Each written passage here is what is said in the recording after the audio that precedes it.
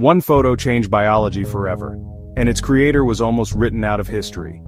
1952. Deep under King's College London, a young chemist captures Photo 51, an X-ray image of DNA that reveals a hidden code, a repeating helix. Her name, Rosalind Franklin.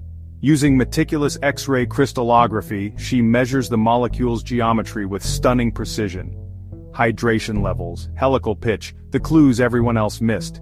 While she pushes toward a full model, the image circulates, Informing Watson and Crick's breakthrough, credit gets messy. Franklin's crucial data was shared with Watson and Crick without her knowledge. They used it to build their model of DNA, but at the time, she was not fully credited for her discovery. Still the science is clear, without Franklin's data the double helix doesn't snap into focus. She moves on to viruses, publishing brilliant work before her life is cut short at 37. Today we finally say it plainly, Franklin saw the helix first. One photo, a sharper truth, and a legacy written back into science.